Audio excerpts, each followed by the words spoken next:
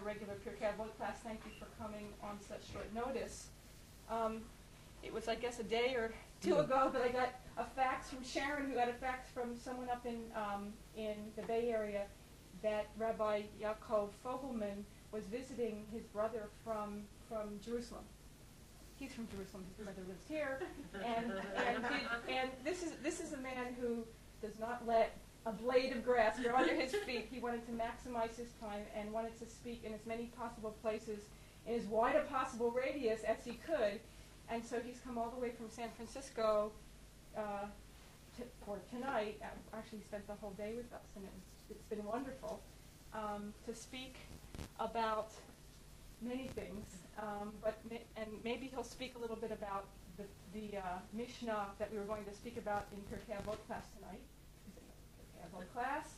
Um, a little bit about about Rabbi Fogelman. He and you'll correct me if I'm sure. if I make a mistake. Unless it's something better than it should be, so I'll just keep quiet. Um, uh, Rabbi Fogelman studied at Yeshiva University. He was a close student of the late Rav Soloveitchik.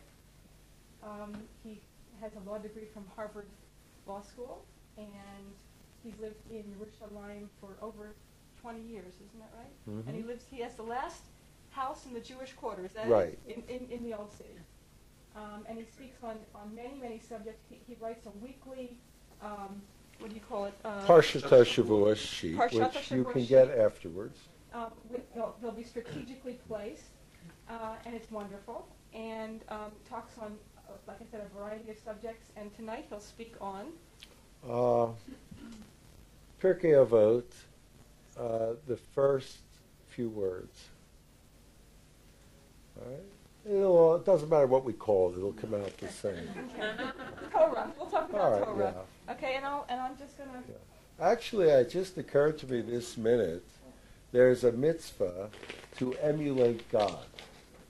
There is, according to Rambam anyway, we know very little about God.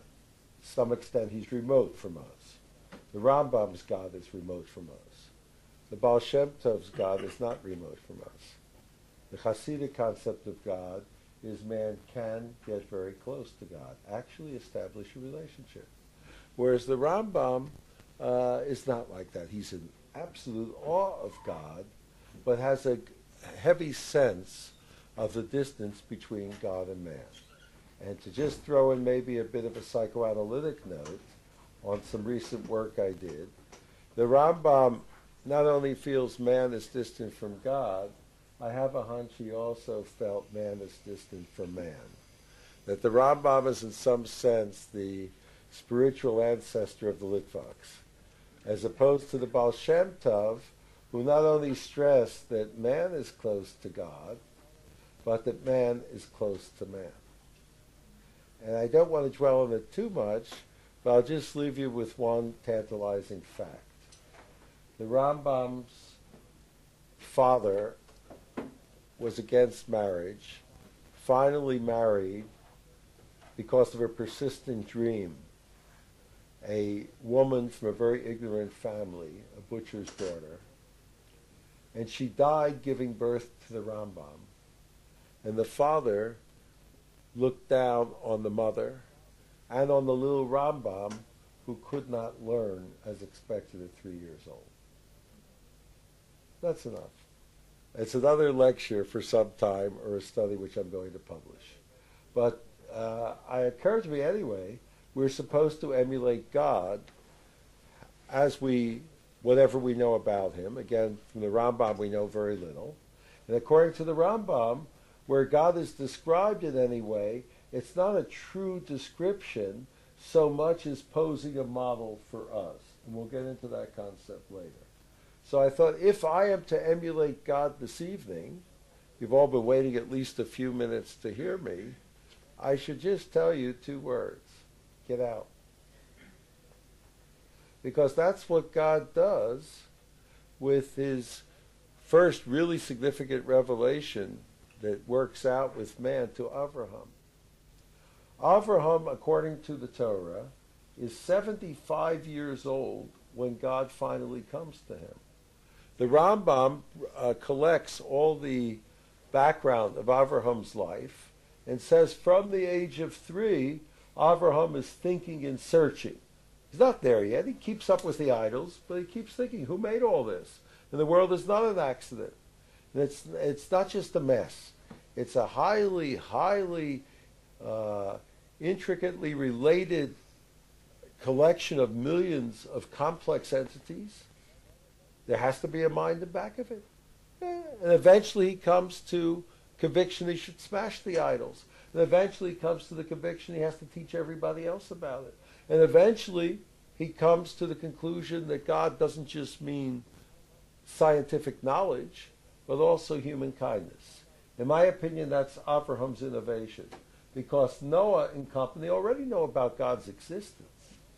But Abraham somehow connects God not just with Elohim, 86 in Gematria, Hateva, the Lord of nature, but Abraham sees him more as more than a lawgiver, as more than a master, master, mastermind and computer, but a concerned infinite soul which relates to man. So Avraham saw in his head some midrashim that by the time of Nimrod, uh, throwing him in the furnace, miracles are happening. But at least from the simple story in the Torah, it's all in Avraham's head until he's 75 years old. Imagine he's been waiting and trying to communicate with God for for 72 years since he was three, according to the Rambam. And what happens finally? God comes, and God says, "Get out." That's all he says, really. He doesn't say Shalom Aleichem. I'm the God you've been dreaming of.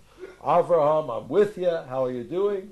Just says, get out, go to the land, and I'll give you a few alternative translations here, where I will show myself to you, or where I will show yourself to you, or where I will uh, see you at your greatest potential. Visham Ereka. And that's what happens. God just uh, disappears. Quick announcement, get out, and disappears. And then when Avram does come there, it's Israel, to the Holy Land, the pure land, the only pure land, the only holy land. God does appear to him. And Avram begins to really take off like a jet plane in his relationship to God and his ten trials and everything. But it happens in Israel. So my first word I feel that's appropriate in emulating God is to say, get out. And those of us who are in Jewish tradition, every Tisha B'Av, sit down in Northern California on the ground with other Jews and mourn. We say, God, we're in exile. God, our land is a desert. God, help us. I suggested a three word addition to the services, one of my radical proposals, that after all is said and done, someone stand up and make an announcement. One way, seven hundred dollars. Right? All of this stuff involves, at least ab initio, seven hundred dollars. And God's finally, after 1900 years, made it happen. Uh, I don't think there's any reasonable secular explanation for it. The three things called holy the Hebrew tongue, the Jewish people, and the land of Israel Lashon HaKodesh, Eretz HaKodesh, Am. All three of them suddenly start behaving in ways that, in my opinion, are unexplainable in secular categories. In secular categories, what the Bible predicts, that the land will be empty for thousands of years. The Jews are going to be scattered all over the world. And the land, almost like a personality, will not yield itself to anyone else even though the others who were there did fine agriculture and build up other lands, but somehow Israel was basically barren for the last 1900 years. Suddenly it blooms again. Can you explain it? No. That's why it's called Kadosh, a holy land, which does not respond to normal scientific categories. Languages don't come back. Once Latin stopped being spoken as a spoken language, and just used by the church and scholars, it's never going to come back. And that was the position of Hebrew, basically, for the last 1900 years. It's back. Explainable in linguistic categories? I would say no. It's holy. Same thing with the Jewish people. Lots of people were exiled. That's how smart conquerors dealt with people years ago. They should have done today too. It would have been the most wonderful thing in the world if a sensible world had ended Germany after World War One. Just ended it.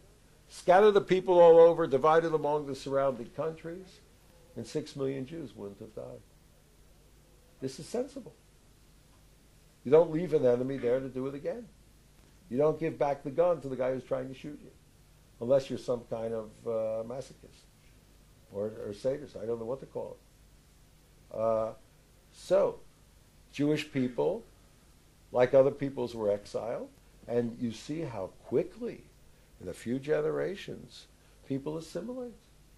There were Sephardic communities in the United States in the 16 and 1700s. Nobody killed them, but we don't have a trace of them. New Orleans and so forth.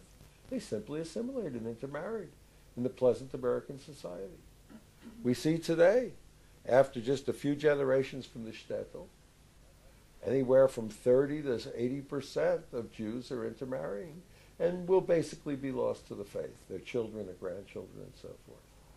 Marx, Karl Marx, comes from Rashi. Nobody's exempt. Rosa Luxemburg comes from the Pnei Yoshua, so forth. Right?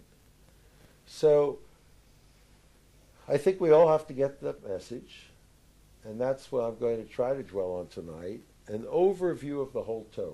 I'd like to do the whole Torah uh, on one, with one foot on the ground. and uh, try to show an overall plan and purpose, which I think is often lacking from religious teaching. Now, I'm going on one of two possible assumptions one assumption, which is what I would call truly traditional. I don't like the word orthodox because I don't know what it means quite. I don't think I'm a Greek Christian. And when someone calls me orthodox, I, I the term sounds sort of like fat guy sitting around eating or something. I don't know. It, it just it doesn't sound meaningful to me. And the term I would prefer to use is truly traditional. And if I would refer to the Masorati movement, so called, I would prefer to use the term conservative to the term traditional, because I think it's a more apt description. Just like I prefer the old fashioned term health foods to the modern term natural foods, because there's nothing more natural than a poison mushroom. And it's probably a lot worse for you than all the chemicals in the world put together. So, uh, health food is a meaningful term. It describes foods which are healthful. Uh, natural foods just doesn't mean anything because everything in the world is natural, including the human intellect, as Buckminster Fuller defines it. Uh, and similarly, I would say conservative, which denotes a certain temperament, is a more accurate description of that Jewish movement than traditional, which it's not because I'm not saying good or bad, I'm simply saying in terms of accuracy of definition, because the one Jewish tradition is that God, the same God who created the world, which is a very real thing, who made every butterfly and fish and star and all the connections between them, that that same God indeed did reveal himself to man at Sinai, the Jewish people, and gave them a twofold Torah a written Torah, the five books of Moses. Some there's a song of the po- popular Megama duo who say, "Why did Jews have long noses?" To stick them in the five books of Moses. All right, the, the anthropological observation is not correct, but sort of cute thing. They also have a beautiful song called "Who Will Be My Children Zadie If Not Me," which is very applicable to the assimilation problem I mentioned as long as there were old grandfathers around, even absolute, uh, how shall I put it, heretics or people detached from the Jewish religion like David Ben Gurion, they still had Jewish grandfathers. But Ben Gurion's grandson wouldn't have a Jewish grandfather. And he might even, from a kibbutz, run off with a girl from Holland or Scandinavia, and that's the end of that branch of the Jewish people. So there is a problem now that the Jewish grandfathers are gone, the old time, deeply Jewish grandfathers. Uh, who will be my children's Zadie if not me? This is a song by the Megama Duo, one of the best Jewish music groups. Zadie made us laugh, Zadie made us sing, and so forth. Okay. So the one theory, or the one, or what Jewish tradition says, what I call the truly traditional, is the Torah is a unified book, not Q's and P's and R's or whatever terms they arbitrarily assign to sections of it, given by God. And this is Jewish tradition, to maybe a hundred years ago. Then there's the other view that it's not. It's what's called the documentary hypothesis, which is taught in schools such as the Hebrew Union College, most universities, Jewish Theological Seminary of America, Reconstruction, Reconstructionist College of Philadelphia, and so forth. And Milton Himmelfarb, who I imagine many of you are familiar with, a secular commentator on Jewish affairs, former editor of Commentary Magazine, Himmelfarb did something very interesting. He made a survey of Jewish theology. He gathered together the four major denominations, let's call them, what he calls Orthodox, Conservative, Reform, and Reconstructionist. He was a little narrow. He didn't invite any Karaites or Samaritans. There's still some around. And he asked the leaders of these four denominations, what do you believe about this book called the Torah? Now, that's a nice vague question.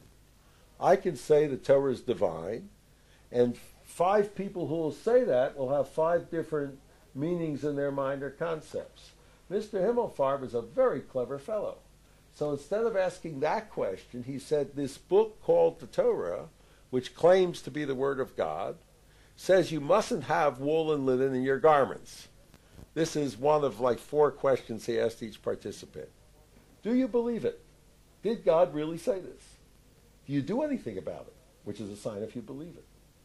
What was very interesting is in every one of these questions, every participant, except those called orthodox, which I prefer the term truly traditional, said, we really don't. With the exception of Jacob Neusner, a leading conservative scholar, formerly of Brown, now in Miami, who was in a religious mood that day, he changes back and forth. And uh, there are a number of people like that who are simply ambivalent. And Neusner said, yes, I believe it and I do it. But he was the only one of the non-Orthodox. And the conclusion of Milton Himmelfarb was that there are only two Jewish theologies, not four. That God gave the Torah, and it's binding for all times, written and oral, or he didn't. That's a collection of old documents which someone like Ezra got together at some point in history. And he said the Orthodox are the only ones with the first view. And there are a few conservative people. I spoke to one of the world's greatest Torah scholars and religious personalities, David Halivni Weiss, a few weeks ago. And he certainly affirms that, the position which we usually call Orthodox. And he left the, he was the leading professor of Talmud at the Jewish Theological Seminary of America. And he left there five years ago in protest against their abandoning tradition and founded his own school, I forget what it's called, uh, in Teaneck, New Jersey, United Torah Judaism in Teaneck, New Jersey. And he has a following among the more traditional conservative rabbis who indeed do believe that the Torah is from heaven even if they may feel that Jewish women aren't so attractive and distracting that they interfere with men's affairs. All right, that's debatable. So anyway, uh, uh, so these are the two views. I am going to take the view that's given in Pirkei Avot. Even if one doesn't agree with it, I'm presenting that view. I'm presenting the view, the truly traditional view, which is the root of everything in Pirkei Avot. Pirkei Avot starts not just with ethics or pretty ideas. Moshe kibel Torah miSinai. Moses received the Torah at Sinai. And he handed it on to Yeshua and so forth. It establishes the chain of tradition from Moses on down through the times of the Mishnah and gives salient leading statements by the various rabbis in the Mishnah. And then the Rambam, Maimonides, poor little Rambam, took it up from there in his introduction to the Mishnah, which is a very elitist document, and he traced it down to his day and showed how each person is ordained or certified by the one before him. In other words, I am authorized to teach the Torah because my predecessor in the chain from Moses, Rabbi Soloveitchik, urged me to teach the Torah. If he didn't, I'm not allowed to do so.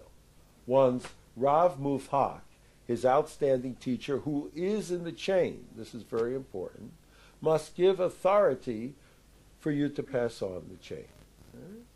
So I'm basing what I say on this view. So we'll do the entire Torah based on this view and try to see if we do consider it one cohesive book given by God. So what is the cohesion? How do the five books relate? Now the problem isn't quite as bad as I make it because when we say five books, it's still one scroll of the Torah, but there is a definable space in the Torah between each of what we call the five books. And those people who call themselves scientific, I have no idea what it means because they can't make these nice tape recorders or anything, but they say they're scientific scholars of Judaism. It sounds good. Uh, uh, they, like the Encyclopedia Judaica, most uh, professors at the university, and so forth, uh, claim that these books just come from different sources. And in their Bible, called the Encyclopedia Judaica, for example, they'll show you how each book really was originally not part of the Torah.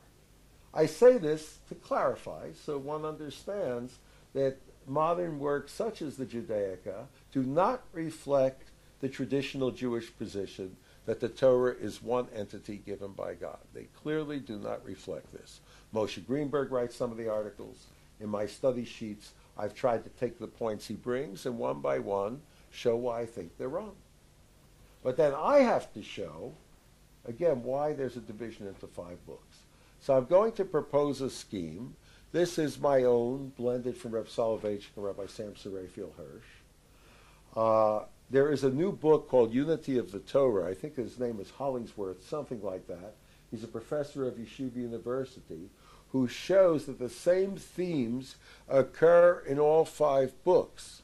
But in each book has a major theme, a leitmotif, which is then a minor theme in the other four books. And this may suggest to you the imagery of a symphony, where you have leitmotifs and submotifs going throughout. And I think it's on back of this week's sheet in my magnum opus. Uh, yes, I brought the Symphony of Free Will Time. I don't know if the guy is Jewish or not, but it, it's by a very brilliant man, or at least he uses big words, uh, who uh, expresses the Bible as being a symphony. It's O.R. Dialonis, Musical Variations on Jewish Thought. Uh, so you might want to look at that. Then I won't go. You know him? Jewish? Nope. No. Brilliant. No, he's Italian. Brilliant. Yeah. That was my impression. Uh, okay. Uh, you don't have to be Jewish to eat Levy's rye bread. I guess you don't have to But be you know, you can always Jewish to Jewish. read the Torah. Yeah. I'm not. Uh, I, I'm one of those in Jerusalem who urges people not to over-Jew it, Ah, and I, I, I mean that. Uh, see, here we got the opposite problem. Everything is universal. And you got to be ashamed of saying not only that Jews are different from non-Jews, but that men are different from women. Uh, but all right. and in Jerusalem, we have the opposite problem that they stress the Jewish differences too much. And uh, I have a friend who's a wonderful spiritual boy, a descendant of the Shlah, great holy rabbi, a really great spiritual person and singer. And I brought him to my house once to hear my latest Hasidic tape that I purchased. And he really got into it. He was dancing and singing. And then at the end, I told him it was a Cypriot tape. Greek Cypriot, not Turkish Cypriot. And uh, why? Because in his context, he knew this sort of spirit only as Jewish. And therefore, he associated as being Jewish, just as Americans even Jewish ones would associate borscht and other Russian foods with being Jewish, or would associate falafel and other Mideastern foods with being Israeli, which they're not. So, back to the Torah. I would say we find the theme of the whole Torah in the beginning of the first book, Bereshit. What two items which are predominantly featured throughout the Torah are missing from its beginning chapters? Any suggestions?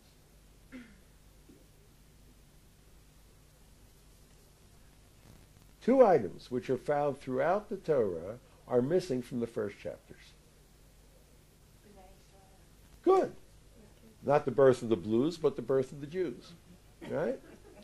Nowhere in the Parshat Bereshit Noach is, it ex- is there any specific reference to a concept of a chosen people. There's just mankind, Adam on down. And what goes with the Jews that's missing from Bereshit? I know it's a little difficult to express in this setting. Commandments you have there a bit. You have pru u'rvu, the first thing to have babies. It, you don't even need religion for it; it's natural. And then when when some kind of odd Western society divorces sex from having babies and treats sex as a snack, so there's an innate sense in those people that they're not living naturally. Forget religiously; they're not living naturally as mammals, and therefore you have to have a, what psychologists would call a compensatory device, like doing all kinds of over demonstrations of how natural you are, like the overdoing it, like making sure you eat lots of health foods and jog, and only buy wooden plane toys from Finland for your children, from the Harvard Coop or the Santa Cruz equivalent. It's trafe and pasul to buy the more appealing, colorful plastic toys from Korea at the Kmart. It's just not nice to do that. It's not politically correct. All right. So this is just a brief uh, response to Western civilization. Anyway, we do have a mitzvah, pru u'rvu, and later come other mitzvahs to guard the garden.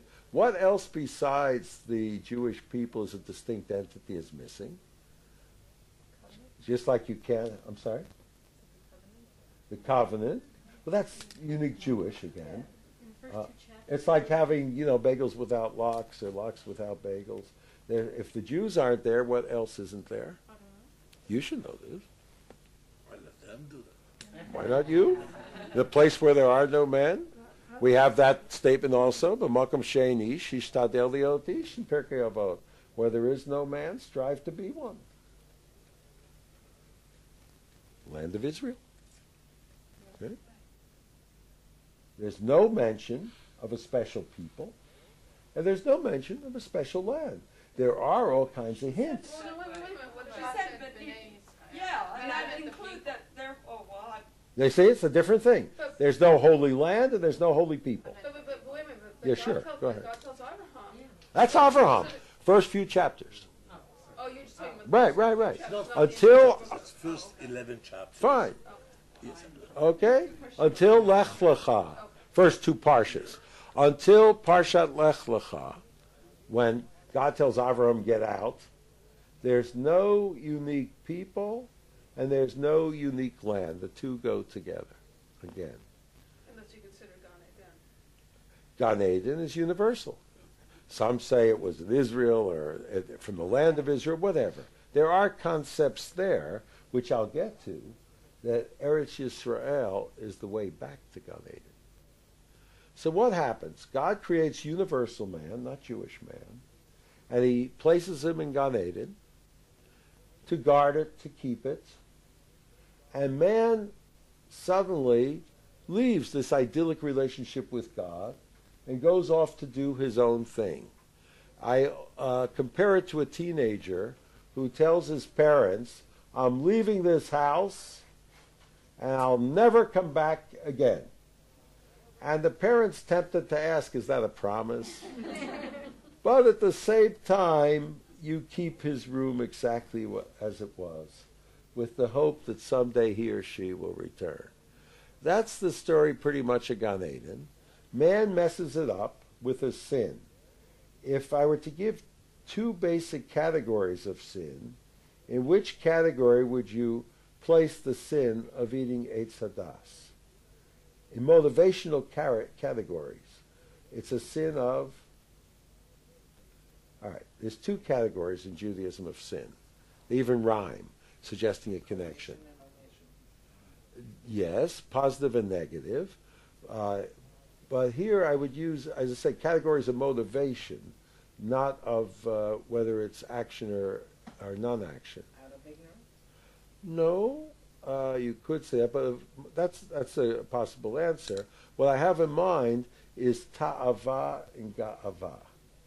The two things which take man off the straight path are ta'ava, over physical passion, over sensuality, and ga'ava, too much pride, too much aggrandizement.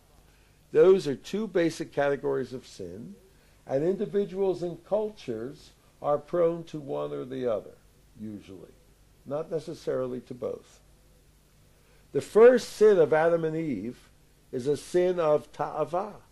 The uh, fruit, whatever it was, is appealing, looks tasty, smells nice. They eat it. But you could also say it's ga'ava. They have the desire to know over a man. Yes, ex- more than they're supposed to know. Except that it's not so clear that they know that consequence. The Torah says she saw that it was tasty and beautiful and so forth. Perhaps. But the, the apparent theme seems to be ta'ava. That sin goes wholesale.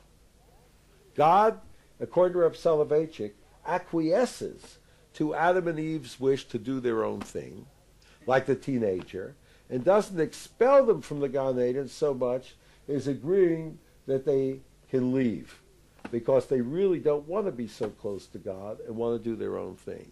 But he puts there two angels with flaming swords to guard the way to the tree of life, not to guard in a sense that it's a barrier against their coming back, but to guard in the sense of Shemirat Shabbat, that you're preserving it, you're keeping it. Just finish this thought, okay? That the two angels are keeping the path open to the tree of life, keeping the teenager's room ready for when he's ready to come back. And all the time in every life, no matter what physical problems, and all life is a fatal disease, it ends in death. Still, the way to the tree of eternal life is always there. Eitz chayim hi l'machazikim. The Torah itself, developing an intense relationship with infinity itself, with God, is a way of experiencing eternity while still in a transient existence. It's a way of linking up to that, transcending, linking up to that beyond my normal existence as a mammal. Right? Now, that's the story of Gan Eden. But bef- I'll take a question. I prefer if questions can be at the end, if Yeah, possible. that's, that's what I want to, uh, yeah, please. Okay. Sorry, yeah. No, it's all right. But I, that's just my style. Actually, it's usually not my style. But this is the grand lecture where I got to do the whole Torah quickly. Uh, my, my, my style is Talmudic to get off on Oh, a yes? tangent and forget the subject. All right. Uh, before we get to the sin in Gan Eden itself, there's something comes before it. God creates everything in the universe in stages roughly corresponding to the alleged evolutionary cycle, which I happen to think is nonsense, by the way, not for religious reasons, just for common sense reasons. Because if there were Darwin's gradual evolution, you wouldn't see species. You'd see a continuum of existence, because the changes are so slow. But all right. And, the better theory is body by Fisher, the theory we have in Bereshit, where I don't claim just because a Cadillac so much re- resembles a Chevrolet that the Cadillac somehow magically evolved from the Chevrolet, but I say body by Fisher, they have a common designer who makes simpler and more complex models, all of which have some similar components in structure and design. So God, of course, there's resemblance between everything in the universe because it's the same God who made it. And Dar- and I found out that my question on Darwin's theory was asked by someone way before me. Guess who? Darwin. Darwin didn't just ask about the missing link. All the links are missing. There should be trillions and trillions of links, no definable species. But what Darwin said oh, a couple hundred years ago was, well, we haven't explored the whole world yet. He took a boat and tried to explore some of it. And if we explore enough, we'll find them. Now we've explored and we didn't. So Body by Fisher, I think, is far more sensible than Darwinian evolution, though there is limited evolution within each species. We see that. The Japanese who come to America get bigger and lighter and so forth, but they don't turn into something else. Uh, so uh, anyway, God makes all the creatures in the world, all life, all inanimate matter, and then there's one difference when he's about to make man. What's the difference? He makes only men. He doesn't make two. He doesn't make two sexes in that. Actually, by male, at first he doesn't, but then he stresses. He stresses male and female. Right. But uh, good. What else? What other difference? Yeah, but before that, before he does it, he makes an announcement. Everything else, he just does it. Let there be light, there's light. He doesn't say, let there be man, and there's man. He says, let us make man in our image. Why? What difference is there by man? And of course, the big question is, who is us? God's addressing someone here as us. Not us Adam, but some angel. It's like the thesis review committee. Hmm? It's like the thesis review committee.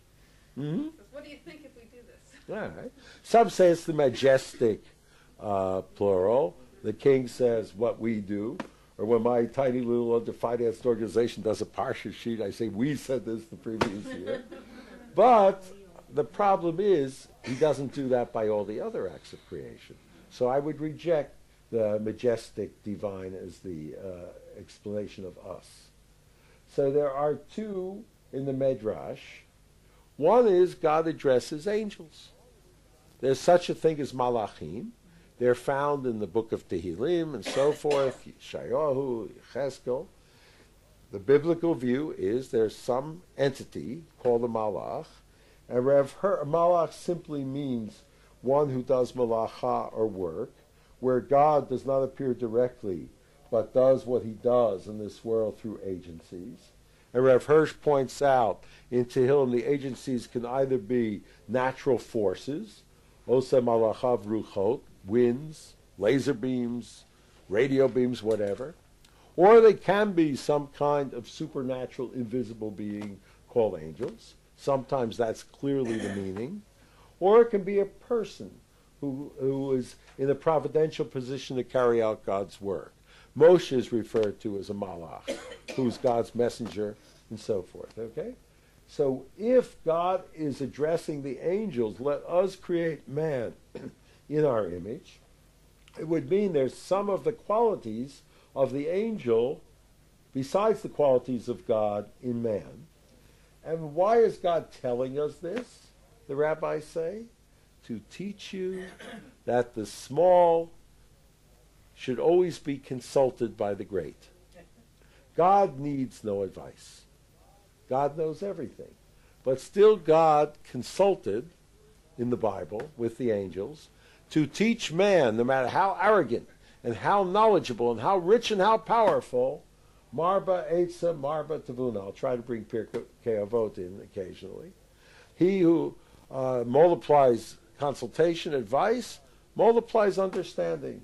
Ezel Chacham, who is wise, halomed mi kol adam, someone who's prepared to learn from everyone, every human being, Jew, non-Jew, child, adult, animal, anything. Can learn from everything.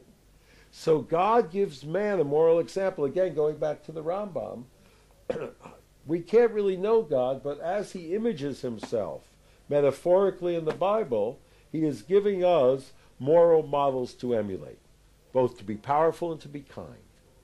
For example, the Rambam brings just as he is merciful, you be merciful. And just as he is great and powerful, don't be a nevish. Develop all the human faculties which God gave you. I, uh, holy beggars can be uh. Depends whether you have a Carlebachian point of view or a Maimonidean. Uh, anyway, Any other suggestions? Let us make man in our image. Whom it's addressed to? The animals. Animals, not just animals, but the whole preceding creation. And there, and this is the beautiful Kabbalistic notion. I'm a Reformed Kabbalist. I'm a truly traditional Jew, I hope, who believes the Torah is from God. But the Kabbalah is less certain, and there's many versions of the Kabbalah. So I take that which seems the most sensible to me, which is unfortunately the Reform approach to the Torah itself.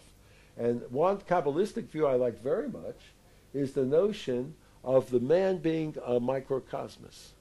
That everything in the universe is somehow incorporated into man, both intellectually and experientially and perhaps physically. Again, the human fetus resembling a fish, that may be the fish in man. And that my mind can somehow work out the mathematical uh, formulae by which stars orbit, awesome. We're all part of a system. Awesome.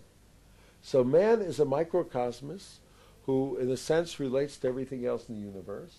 According to those who believe in reincarnation, and I stress that those who believe, which means the Ari and the Zohar, the Zohar and the Ari, and all the Hasidim and Sfardim who follow the Zohar and the Ari, as opposed to the Saadia Gaon and Yosef Albo and others, who, and Rab Kapach's grandfather, who say that that stuff is nonsense and no Jew should believe in it.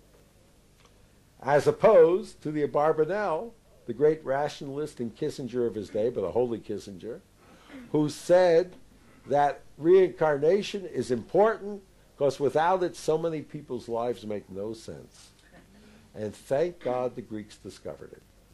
So you have three views of reincarnation holy wisdom, Goyish wisdom, or Goyish nonsense. Take your pick. Uh, anyway, those who do believe in it, I asked the Boston Rebbe, do you really believe that cat could be my great great grandmother? and that that tree might be my great great grandfather? And uh, that in effect, then, that the tree and the cat also become an image of God. So the Rebbe answered me very wisely. Very nice man, too. He said that, no, it doesn't mean all of you goes into the cat. It means if you did not sanctify and develop properly into a human form, into an image of God, the cat part of you, then that part goes into a cat. Interesting. Okay, anyway, man is a microcosmos according to the Kabbalah. Does anyone have another interpretation of who us is? Let us make man in our image? Give you Reb Soloveitchik's, which is my favorite. God is addressing the man he's about to create.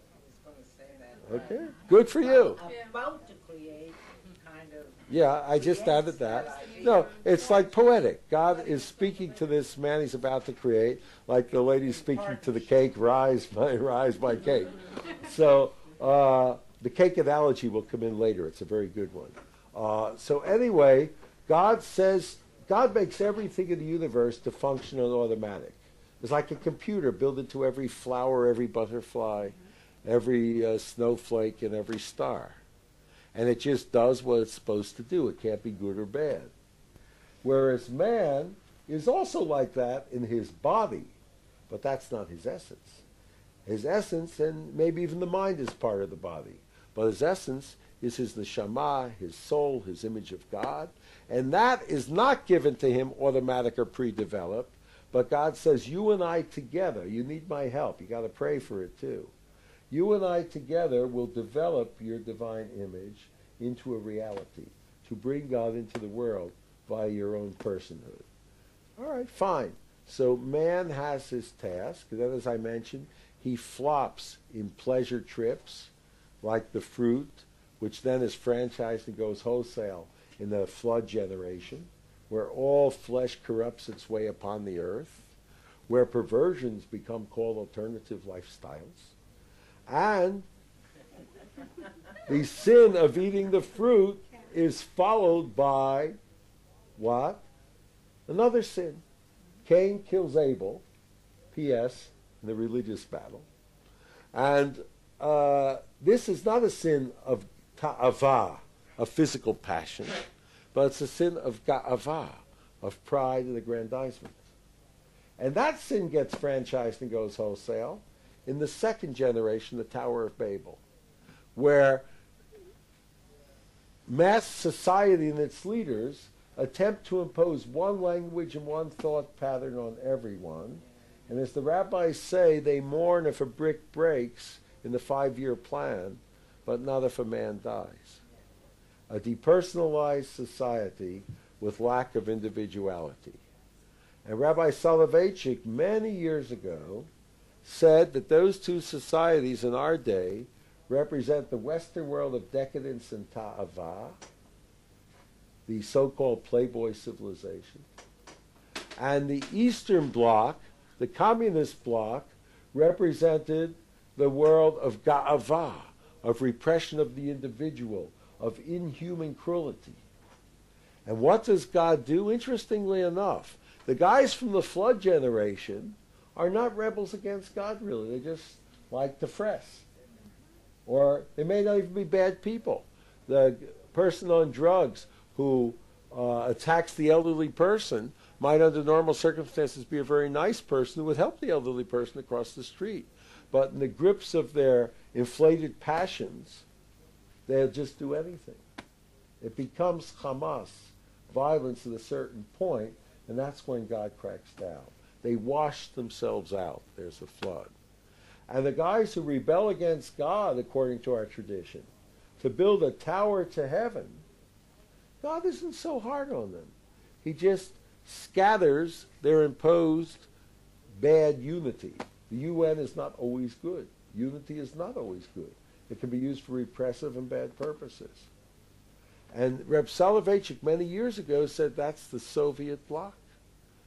God will scatter it. This is way before anyone dreamed such a thing would happen. But he said it's the Tower of Babel.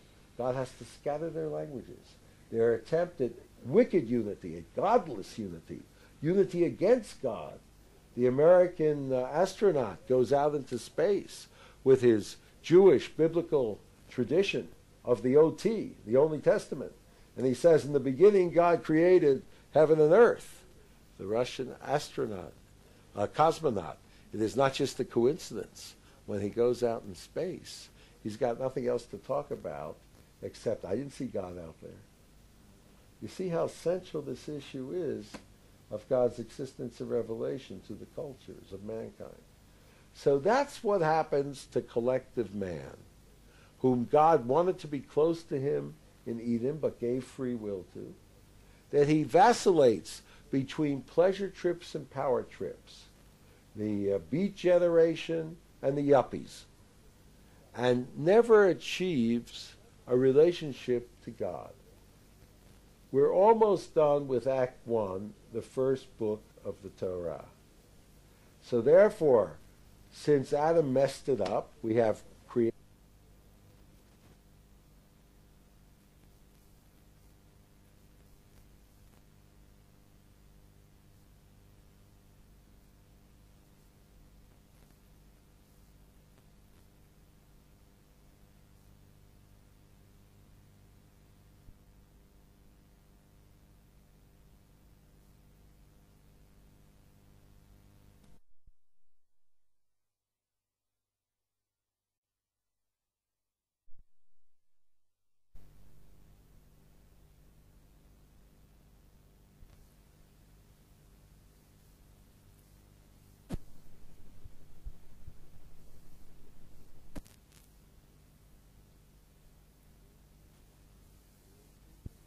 creation, destruction, and recreation through Abraham and his descendants. I, maybe later, if we have time, I'll go through the differences. But let it at this point suffice to say that the various aspects of human development are not completed until the con- contrasting aspects of Avram and Yitzchak merge in Yaakov Yisrael, uh, who's called Tiferes or emes in Kabbalah, glory or truth, who merges the chesed, the extrovert qualities of Avraham, with the introvert disciplinary qualities of Yitzchak called Gevura. We now should finish the book of Genesis at this point, because we now have a model man from whom God can bring the rest of the world back. However, there's a problem.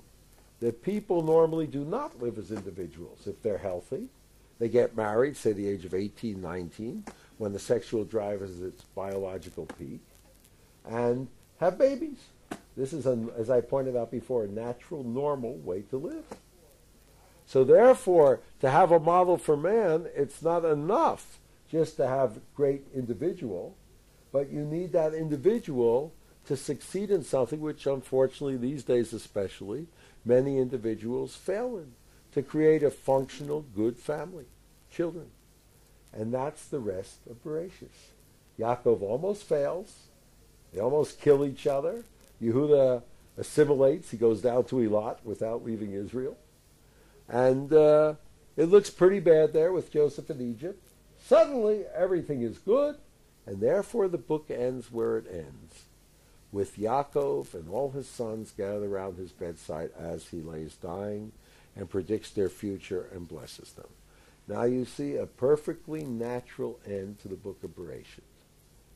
We finished the main foundation of the Bible, volume 1. Volume 2, Exodus, then goes on to deal with another problem. Perhaps naturally, perhaps artificially, man chooses to live not just in families, but in nations or civilizations or cultures. Therefore, it's not enough to have a family of Yaakov, of Israel, but you need a people, a nation of Israel, to be a model for the whole world how to live as a nation. The emergence of that nation is the story of the book of Exodus. Because if we say it's the story of the Jews in Egypt, the Jews are already in Egypt for the last few sidras, the last few portions of the book of Bereshit. Yaakov and his family are in Egypt. But that's not the message. It's the development of individual and the development of family to recreate creation. And then the development of a national entity to do that from the Holy Land to which they're taken out. And in Exodus 19.6, the Jews, upon receiving the Decalogue, which has nothing to do with non-Jews. This is another common misconception that the Ten Commandments is our universal religion. The Ten Commandments is only addressed to the Jews, to be grammatically correct, addressed only to the Jews. And uh, in addition, it contains subject matter, major subject matter, which only the Jews are supposed to do. Gentiles are discouraged from it, keeping the Sabbath. That's one of the Decalogue. Okay? We do have a universal religion for all man. It's called the Seven Laws of Noah. And I designed a bumper sticker. Forgot to bring some. Keep the seven, go to heaven. Uh, my institution is also a uh, center for Gentiles interested in Judaism, and we discourage people from becoming Jewish. But we do have something to say. Every human being can affiliate with the Torah and the Jewish people, and many are beginning to, as predicted, as by becoming one a Noahide, not a Jew. Like Noah, he's Sadiq, very righteous man, walked with God, a good Vermonter. Okay, so Exodus 19:6, God says, "You shall be to me a kingdom of priests and a holy nation." That double phrase upon the Jews receiving the Decalogue is not simple. Why two phrases? So the best explanation I have seen is from one of the world's greatest Torah scholars, who unfortunately is little known, I'd say simply because he hasn't been translated into English.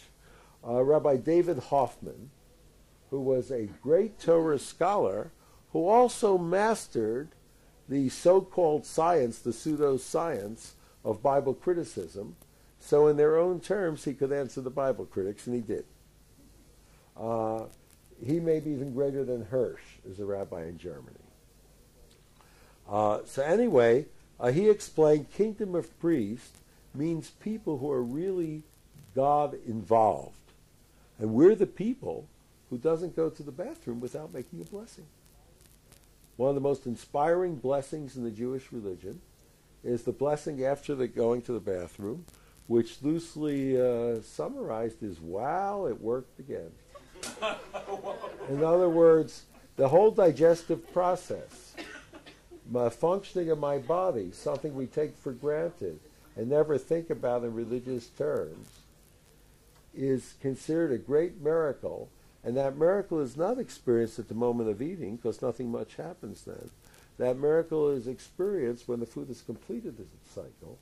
And the blessing reads God, uh, who created man with wisdom and with so many complex organs and channels, and it's well known before your throne. If one of these things would get stopped up or one would get opened up which is supposed to be closed, picture your plumbing in your house, uh, it would be impossible to exist and stand before you. Thank God it's working. Who heals all flesh and does wonders and miracles.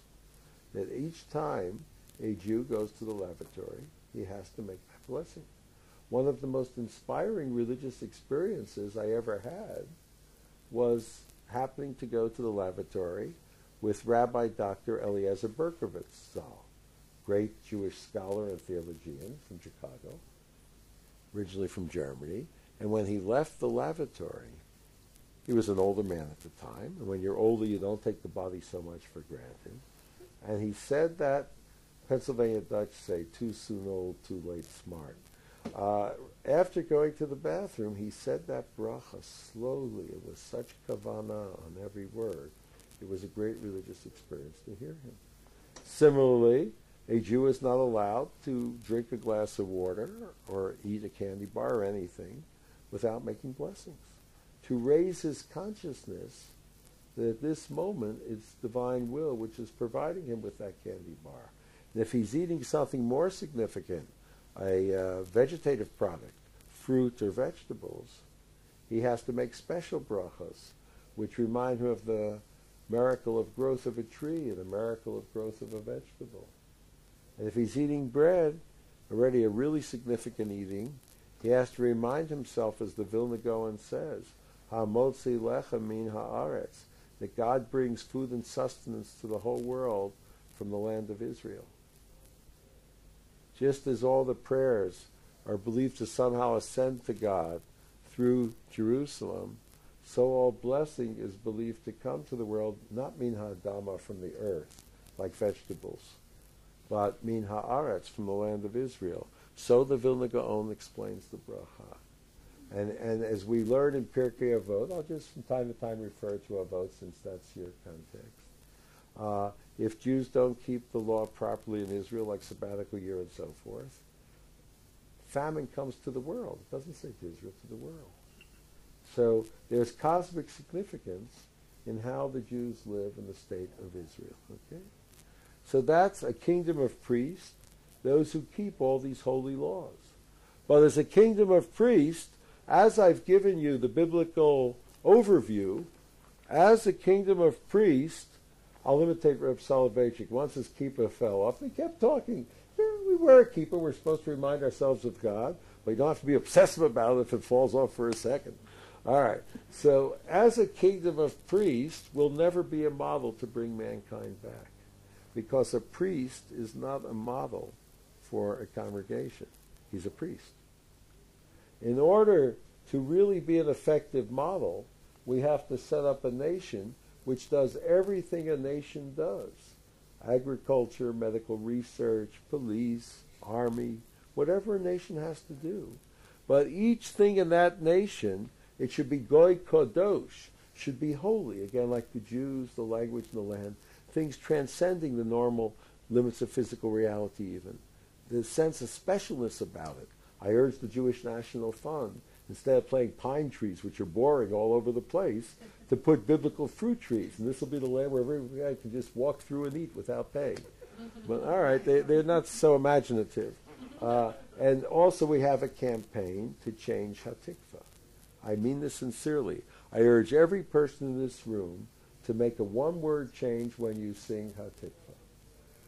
Everything in Hatikva is nice if you do this one word change. Otherwise, it's an abomination, really. That the Jewish people should not include this mission and God and holiness in their national anthem, when other countries like America do, and England, is a, a Chilul Hashem. And Rabbi Ovadia Yosef is right in not singing it.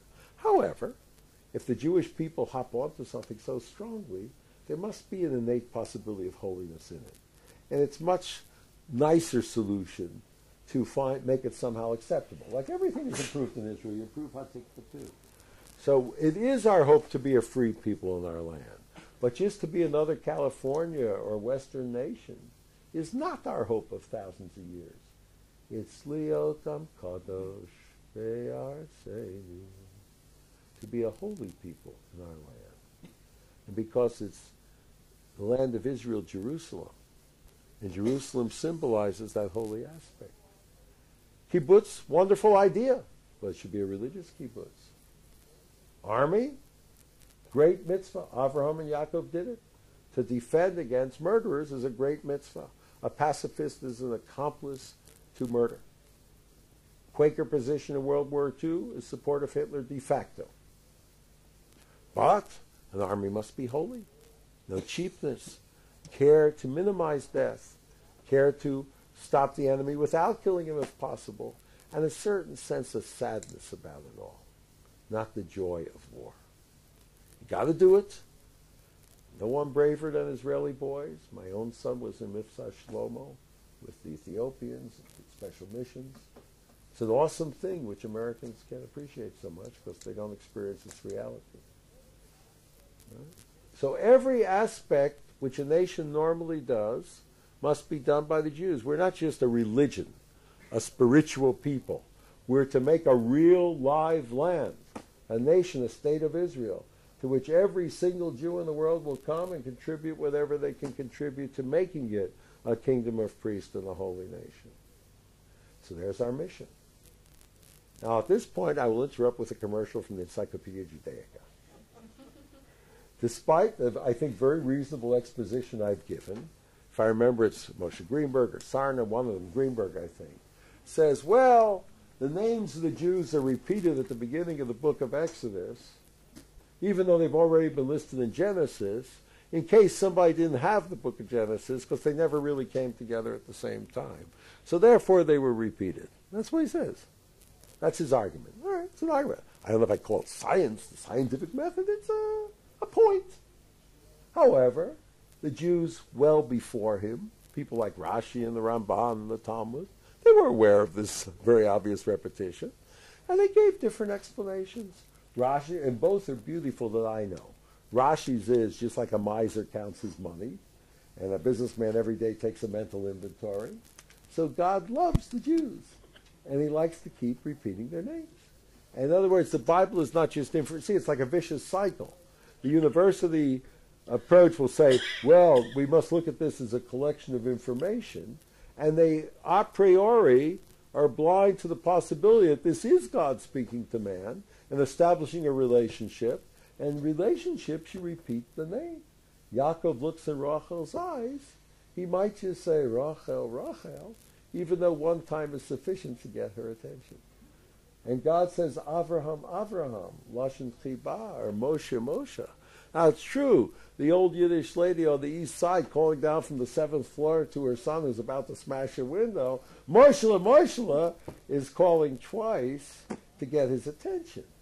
But God, like uh, postman never rings twice, God doesn't have to call twice. If Shulamit Aloni would suddenly hear from the sky, Shulamit, next day she'd be in Beis Yaakov. One time is sufficient to get attention and obedience. But Rashi stresses then that the Kriya is Lashon Chiba, which is a, con- a consistent theme of Rashi. And a perfectly beautiful theme, and no need to say, oh, well, these were old books and traditions that somebody put together once, just because the names of the people of Israel are repeated. But Rev Hirsch, as usual, in my opinion, coming later and assimilating Rashi and the Ramban, not only puts them together, but often has much deeper messages. And Rev Hirsch says, since we describe this as the beginning of Jewish nationhood, the Jewish people is different from every other nation in that it doesn't put the nation first. That our nation is only as strong as the individuality, as I stressed before, against the Tower of Babel.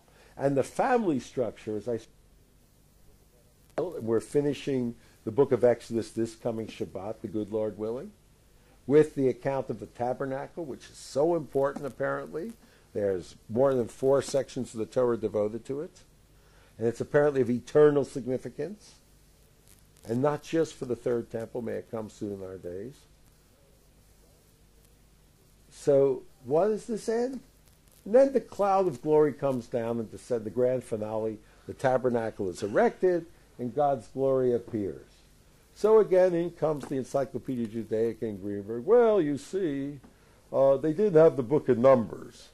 And therefore, in case somebody should, God forbid, miss out on the Book of Numbers, they put in the scene of the clouds of glory coming down from the Book of Numbers. I mean, it doesn't, forget scientific, it doesn't even sound too sensible. Again, many years, many hundreds of years before the Hebrew University even existed. Uh, the Ramban dealt with that problem.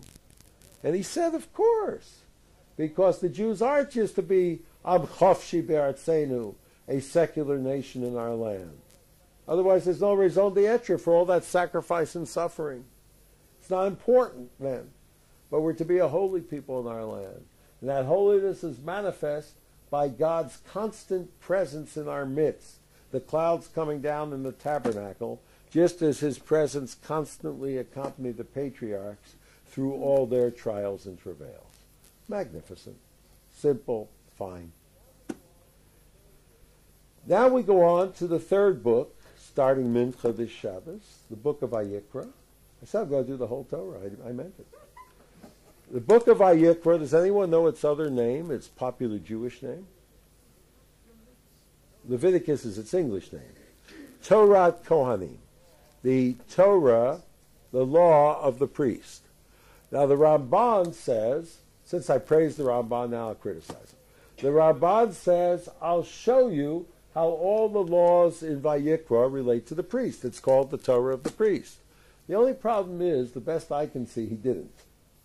The first part about sacrifices, animal sacrifices, an institution in which Western liberal man ardently believes.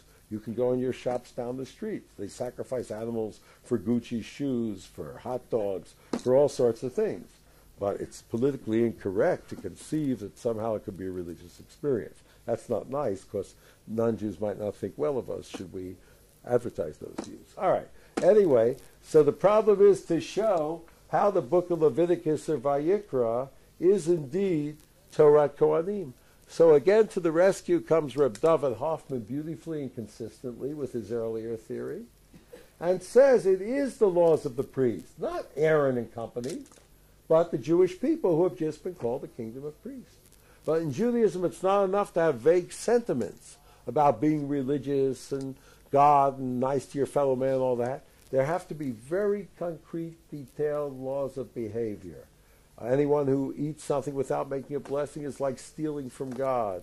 Uh, certain foods you may never eat. Sex, beautiful, fine, the way images of God are created, but not sex as a snack. Sex should, sex should be holy. Uh, in Jewish religion, one's not even allowed to dance with someone else's wife, uh, and so forth. Uh, clothes, sure, have nice clothes. No wool and linen. Every realm has certain specific, detailed behavior that goes with it. And that's the book of Leviticus. So now we're about to bake the cake. We got everything. We got the recipe. We've got the ingredients. We've got the tools. So let's do it. That's the fourth book of the Torah, Bamidbar. The actual experience. Again, there's a little of each of these themes in each of the other books, but like men and women, there's a leitmotif and submotif in each book. And again, I would challenge, I imagine there's some scientist in this room, I would challenge any scientist, even one who doesn't believe in that silly theory of evolution. That's just my view. I mean, you can be perfectly religious and believe in it. There's no Torah problem involved. But uh, why do I have breasts? They don't work. They do work? How? Well, I mean, men can lactate. Can, but I'm not going to. I'm not going to nurse a child that way.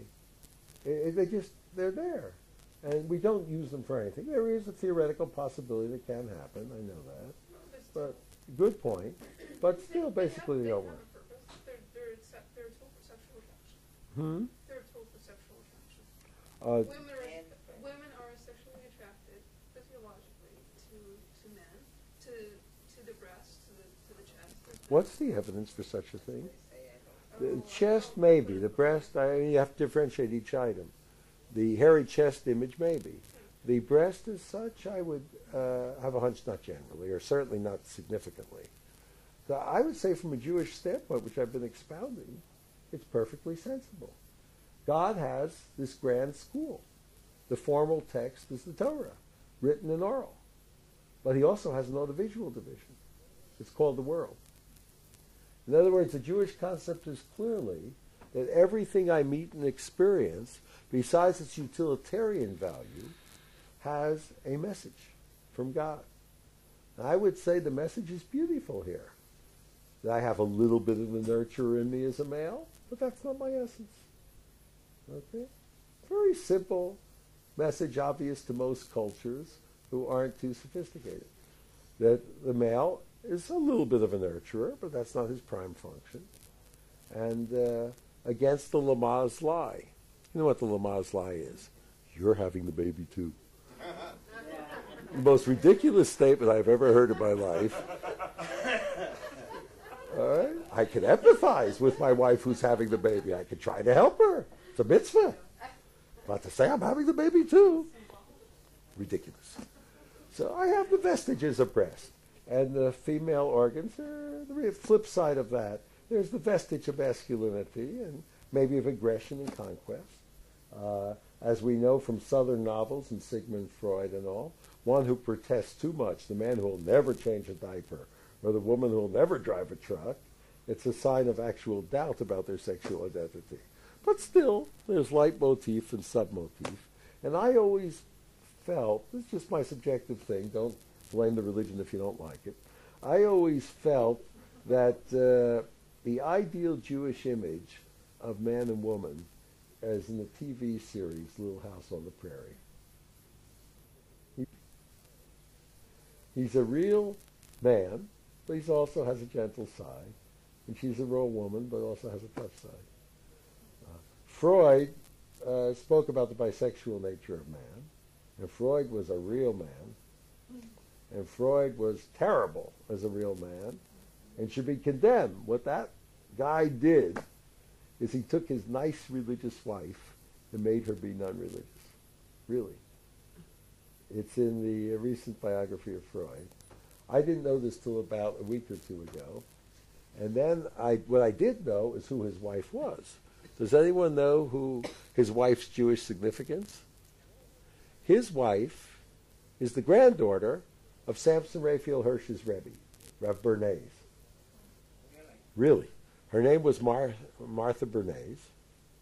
And what I didn't know till a week ago, I was wondering, so how could she come from such an illustrious religious family and, and uh, live so non-Jewishly? The answer is he made her. He absolutely insisted there be no religion in his house. His granddaughter wound up being like a feature in a Playboy type magazine, incidentally. But yet, Freud led a basically normal life, and he had a whole bunch of children. And he was a kind man. He treated people for nothing, even when he was ill with cancer in his later years. And he refused to take any money for royalties on the Hebrew and Yiddish translations of his works, and was involved in setting up the Hebrew University and had uh, Zionist feelings and so forth, and refused to convert, which many did in his day. And Dafka gave his lectures before a Jewish organization, the B'nai B'rith in Austria. So he was a proud Jew who had a Moses complex. That idiotic book he wrote, Moses and Monotheism, which he himself said it was idiotic, but he felt compelled to do, was part of his Moses complex, and he sat for days staring, transfixed at the statue by Michelangelo Moses in Rome.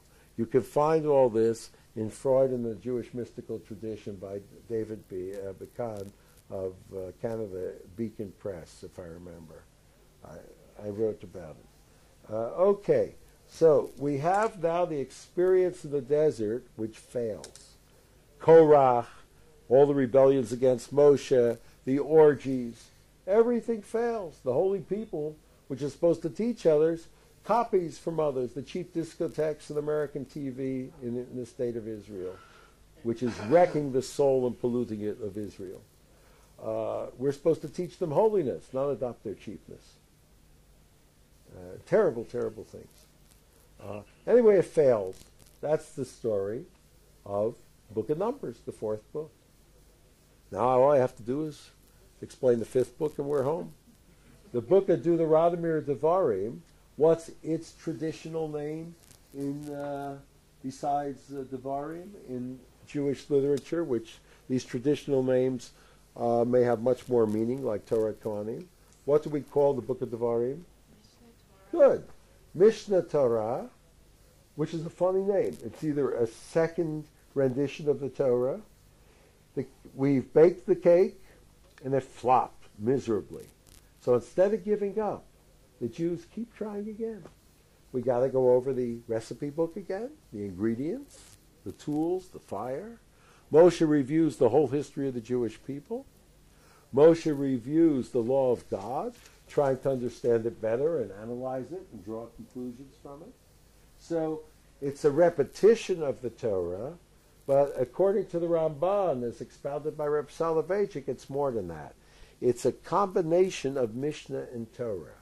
It's the end of the written law process and the beginning of the oral law process, where Moshe Rabbeinu connects the two. He who gave God's dictated written law to the Jews also starts the expounding of it. As the book starts, these are the words which Moshe spoke, not God. And then Moshe would never put his own words in God's book. So God adds a little, uh, subtracts a little maybe, and says, Moshe, your words at the end are so good that I want to put them in my book. This is the Abarbanel's explanation of Devarim. So Moshe starts the Mishnah process. So therefore, as we finish the Torah, we go off in three directions. One direction is historically to the book of Joshua, the conquests of the land of Israel, which thank God is repeated in our time. There's 21 Arab states. There's time that we again have the one Jewish state. And if they want to kill us to stop it, we won't let them. It's as simple as that. And when the Jews finally stood up and made a state, even though many of them thought they have no use for God and Torah, at some unconscious level they were exhibiting the deepest faith in God and Torah, because to set up a Zionist secular state after 1900 years of no experience in government or warfare or farming was absolutely insane. It was logically insane and theologically divine. That the same protesters who would eat on Yom Kippur, at some level of their being, had a deep faith in God, even if they were angry at their religious parents and society, who they saw so ineffectual in dealing with the problems of pogroms and starvation and so forth. And eventually, this is said by both Reb Soloveitchik and Rav Kook, the deep unconscious religiosity of the seemingly anti, anti-religious Zionist secular pioneers eventually by acquiring a share in the land of Israel through the great sacrifices made by the secular Zionists, they would also acquire, like Avraham, a share in the God of Israel. And someone like Adin Steinsaltz, and we have some of his articles here, if you like, uh, great Torah scholar, one of the greatest of the day, was from the ultra-secular Zionist movement and a physicist and he's now a leader of the Torah. Many of their greatest, a number of their greatest entertainers have now become even Haredi Jews. They went to the opposite extreme. Hopefully their descendants will get back to the middle. So, and, and maybe the most religious person who stayed in Monsey or Borough Park, God forbid, their children might intermarry, or grandchildren or great-grandchildren. So while as the Magama also sang that God may be dead in the Western world, the Richard Rubinsteins of the world may proclaim it, but God is alive and well in Jerusalem right now, with more and more people going back to the Torah every day, both Israelis and immigrants. But it's only in Israel, once we're restored, that I think one can find the Shekhinah, God's imminent presence we have traditions that the Shekhinah descends with the Jews into Galut. God feels it's necessary, but he feels bad, and he sticks with them. But that's only when, in my opinion, when it's a forced Galut. once we can go back, I assume God goes back with those who go back. And at a certain level, the experience of God outside of Israel is limited. And the Talmud says anyone who lives outside the land of Israel, it's as though they live without a God. And anyone who lives in the land of Israel, even if they're not so observant, even among idolaters, has a God. There's at least one Talmudic opinion.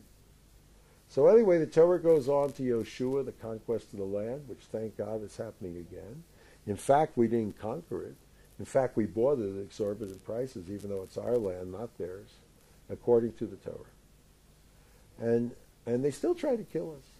And the poor Jews of Hebron, innocent, gentle Talmudic scholars, not Zionists, slaughtered and viciously taken to pieces by Arabs, Muslim Arabs, now have the nerve, and I am not right wing, by the way, but they have the nerve to say that Hebron should be Judenrein, as Hitler said. If any, and, and so-called liberals, I can't understand this, in America, who would be the first to protest if a black or Chinese person could not live in a certain neighborhood, are ready to acquiesce in this concept of grand Judenrein for parts of the Jews' land itself. It's absolutely a moral abomination. And my own uh, personal solution to the present terrorist problem is every time there's a terrorist act, you build 500 apartments between Kiryat Arba and Hebron. And that may deter them and save lives. They don't care if they're killed. They're ready to die for that uh, odd religion that they believe in. They're going to go to heaven if you kill a Jew. As Mohammed said, if a Jew is behind a tree, seek him out and kill him. He was like Luther. First friendly, then when we rejected his new faith, he turned vicious. All right? And, and if a month or two goes by with no terrorist attacks, and Arafat shows he can stop it even if he doesn't want to, then you pull the Israeli soldiers out of one Arab town. Instead of these grand plans which result in such murder and disaster. And I don't see how anyone, even of the most peace wing persuasions, can object to this. A simple test is given. If it works, fine. If not, we go on building our land. There's no reason we have to feel ashamed of having a land which all together with all the liberated territories, I would call them that, not occupied, liberated, with all of that, occupies one, I think it's one eight hundredth of the territory of the Arab uh, lands in the region. We're entitled to that. After contributing more percentage wise than any other people to the rest of civilization and suffering more than any other people from it, we're entitled to one decent sized land.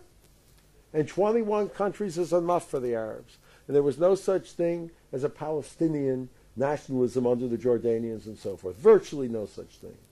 And I personally am not for expelling any Arabs if they're peaceful. And that we should all work together and live together in peace. And they're basically decent people, other than their attitude toward Jews and their problems with their religion. But at the same time, if they're a menace to our existence, it's the most humane and merciful thing to expel them from the country. Instead of uh, uh, putting them in jail and then freeing them 800 for an Israeli prisoner or something and having them go out and murder more people. It's happened already. It's not just theoretical. And, and, and assassins have been members of the Palestinian police. And the so-called police are themselves terrorists. So it, it's just a morally, liberally indefensible situation to advocate Judenrein and, and allowing murder of innocent people. Uh, so anyway, that's the first direction, Yoshua. The second direction, as I explained, from Devarim, from Deuteronomy, we go on to the Mishnah to continue Moshe's oral law process. And the third place we go from Deuteronomy is where? You know. Yeah, you're batting 100. Where do we go from Deuteronomy besides to Joshua and to the Mishnah? Physically and conceptually. Where else do we go? That's Yoshua, the book of Yoshua. That's the first answer we gave. Where do we go when we finish Deuteronomy? Back to Bereshit. Every Simchas Torah, as soon as we finish, Yisrael, Right away. What's the message? Well, I just explained that we mustn't overdo it either. We must remember the name of this whole name of the game of this whole sefer we finished, the Torah, is that it's a messianic world mission to change the whole world, to bring all mankind back to where he should have been in the Garden of Eden from the state of Israel. This is clearly the biblical message. Isaiah 2, all nations will come up and ask Yaakov to teach them of, her, of his ways. It's obviously not the written Torah. They have reasonable translations, even though they distort them. But it's the Torah Sheba'al Peh, the essence of the Jewish people, which is not Bible. Copying the non-Jews, we like to say the essence is Bible. And Talmud is sort of something uh, on the side. But al pia devar ma'ela karati imachem brit, by the mouth of these words I made a covenant with you, Rabbi Yochanan interprets, by the mouth of these words, by the oral Torah, is the unique covenant with Israel, and that's what we'll teach the non-Jews. And when I have people try to talk to me about Jesus, I remind them my name is Yaakov. And in Isaiah 2 it says you're to come up and ask Yaakov, not try to tell him uh, what God is in the Messiah. Uh, so we go back to Bereshit to remember that our ultimate task is to change and perfect the world. From Zion shall come forth Torah and the word of God from Jerusalem. And we have a feeling of responsibility to every human being, to the whole world of God, to the ecological systems. But at the same time, we recognize there's a kingdom of priests and a holy nation. We must maintain a certain separatism from the rest of the world. The priest, though he wants the people not to feel cut off from him, if he spends all day with them doing business and watching TV and going to the ball game or an opera or a play or whatever, then he's one of them and he's no longer can help them by functioning as their priest. So the Jewish people must, on the one hand, be open to the world, and on the other hand, respect those divisions which God has put between them and the nations, like intermarriage, kosher foods, Shabbat, and so forth. And in that way, they will indeed gain the respect and gratitude of the nations, whom they will really help. And at that point, it is my opinion that the Arabs will accept it too. That the Arabs, in my opinion, are doing some terrible things, but I can understand where they're coming from. And I think if we presented the true model of not just a free Israel, but a holy Israel, a true model of the Torah, the Arabs would find it so beautiful that they'd give up Islam and go along with it. Because Islam is the biggest possible distortion of the Torah. Maimonides says that each religion, other than Judaism, has a wonderful thing and a terrible thing. The wonderful thing about Islam is they never made Muhammad a god, and they have no statues and only worship God and have deep faith in God and pray to God. The terrible thing about Islam is it's the biggest lie conceivable on which it's based. To take God's own word, the Torah, and change it. Oh, it wasn't Isaac who was sacrificed to Ishmael. Christianity, he says, has a great thing. He's speaking, of course, about medieval Catholicism. This may not apply to all modern Christianity. The great thing about Christianity is they never change one word of our, one letter of our Hebrew Tanakh, of the Bible, the only testament. They may have mistranslated it, but they never changed it. They'll take a word which doesn't mean virgin, it means a young girl, and they'll say it means virgin. But uh, they never changed the letter.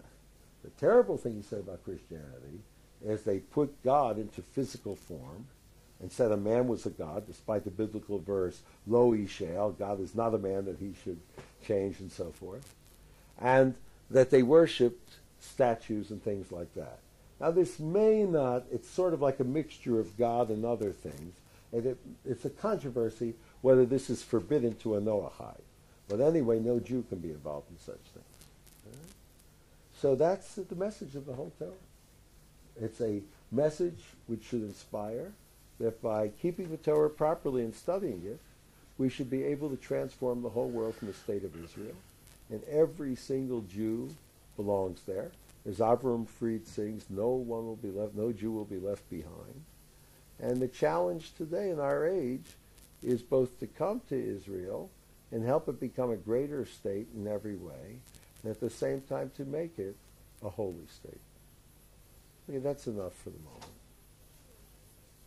Any uh, questions or comments? If you want, I can go on to other themes. but I did the whole Torah as I said I would.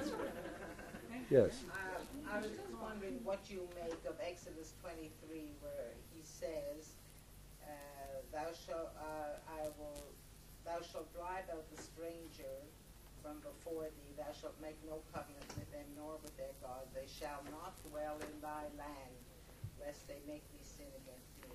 All right, I can tell you explicitly. I write on this I'm subject. applying it to modern day. Yeah, the word stranger I don't think is a correct term there. What it's referring to, I mean, just looking, let me just uh, see. Is there a chumash in the house? Yes. I had one here before, I heard. I prefer to look at the verse which you quoted. Exodus 23. What's the rest of it? Yeah, just writing down your last thought. Well, wait, what was the verse quote? Uh, Um, Exodus what? Exodus twenty-three, it doesn't give the verse. It doesn't give the verse. All right, Exodus 23 isn't that long. But it'll take us a moment or two. By the way, who- I don't know the book you're quoting from, but it's a sloppy book if it doesn't give the exact verse. That's not a good way to do It's taken things. for granted that I know. Nah. Yeah. No, it's the same thing. Uh, no, no, You're not gonna worry that he doesn't. See verse 19, I think. Yeah, uh, here, no, it's the end of the chapter. I just want to make sure there's nothing in the beginning of the chapter. I will set my that. bounds from the Red Sea even to the sea of the Philistines and from the desert unto the river, where I will deliver the inhabitants of the land into your hand. Yeah, and I shall it's the end. Now, now look what this, I don't know who this person is, and I don't want to just criticize for nothing, but I would have a hunch this is an anti-Zionist book. No. No. Well, it's a mistranslation. Yeah. There is no verse which says, uh, the strangers shall not dwell in your land. It says, they shall not dwell in I'm your land. sorry, I, I put in the stranger. Oh, okay. Because I wanted to, I'm All right, referring then the to book- today. Okay, no, th- this is not referring to today. The book then is not at fault. I apologize to whoever it If is. apologize to him, okay. Okay. But to me, But, they uh, shall not dwell. They in shall not dwell. So, of course, to understand that verse, you have to read the verses before it to see who they is talking about. They is talking about, or is the right wing Kahana type book? No, No? I, I don't know, I'm only on chapter Yeah, I'm just trying to think why they brought this verse. Okay. Uh, that they is referring to, uh, I shall send the hornet before you. I hate the word they, it's silly. Which shall drive out the Chivi, the Kanani, and the Chiti before you. But little by little, so that the wild animals don't increase in the land, I'll set your borders, and I'll deliver them into your hand, and you shall drive them out before you. You shall make no covenant with them, nor with their gods. They shall not dwell in your land. Now, this is referring not to any Gentile or stranger, but specifically to the seven nations. And the seven nations, Maimonides brings specifically, had three options. They could leave idolatry, or leave the land, or fight to the finish. It applies today. No, absolutely not. Absolutely not. It does not apply today. This was a false propaganda of Rabbi Meir Kahana, which I refuted when it came to my attention. This is talking about the idol worshippers of Canaan. Our objection to them is because they worship idols, and we cannot set up a holy state of God in a place where people are worshiping idols. They had three choices give up the idols, as the Givonim did, and worked with the Jews, leave the land, as I think it was the Hiti did, and settled around Tunisia. We have Talmudic traditions to that effect. Or as the others did, fight, and we'll fight you. The Arabs are 100%, as I just mentioned, not idol worshippers. Therefore, this whole thing does not apply to them. The only thing that applies to them is the adage, he who rises to kill you, kill him first. If anyone tries to kill us, we have to throw them out.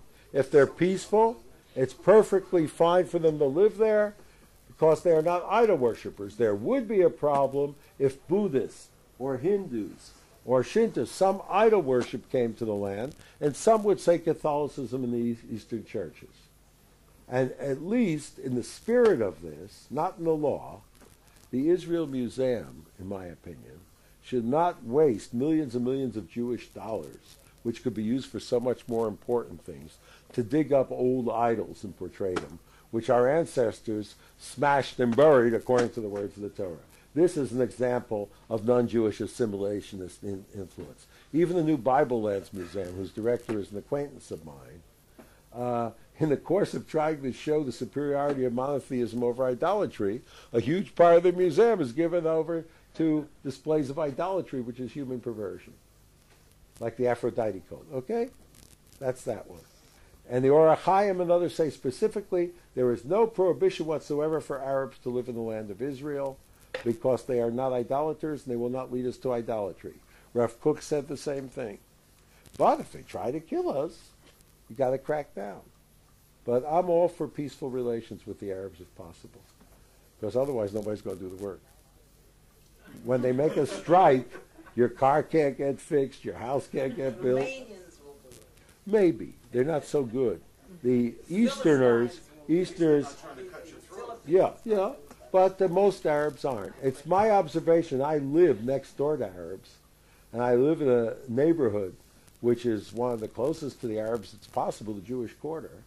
Uh, in fact, we find very few explosive charges and all, despite the fact that thousands of Arabs every day walk through. And I'm reasonably convinced, while the Arab, average Arab may identify with the bombers and not like us, the average Arab, like the average anything, doesn't do anything about it. And as long as he's at home with his TV and family and Jews treat him nicely in his work and he has enough to eat, he'll be content. Now, part of the problem is the terrible poverty and the crazy religion. We somehow, I'm not joking, Israeli secular leaders, professors, and military aren't used to thinking religiously.